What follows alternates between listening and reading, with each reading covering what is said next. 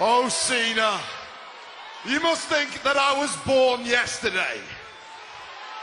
I've had word from the Raw GM that I am the only person on this planet with the power to get you back your job. Well, hard luck, John. I promise you, you will never ever work in WWE ever again. Cena, the one thing you had over the Nexus this evening is the element of surprise. We will deliver to you the worst Wade, beating Wade, of your entire Wade, career. Wade, Wade. You got it all wrong. Business as usual. It's not about keeping my job. It's about keeping my word. I got fired because I kept my word. But I made another promise before I got fired. I said I would take out each and every single one of you.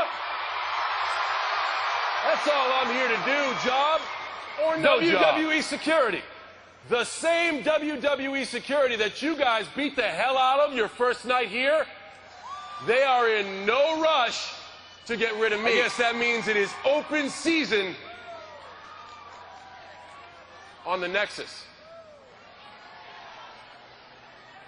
Nexus, do your worst. Hold on, hold on, guys. Wait, wait. Before you do anything foolish, I need to remind you of one thing. I'm not the only enemy you got around here.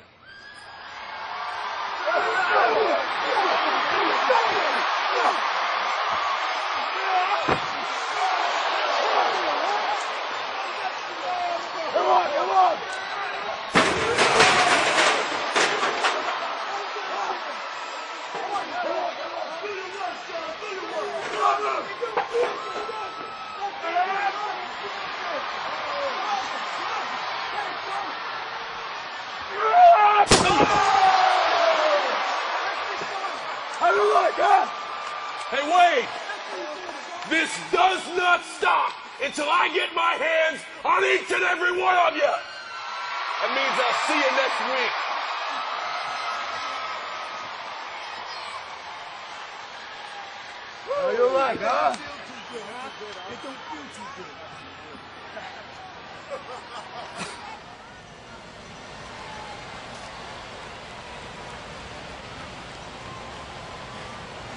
Man, this has got to stop.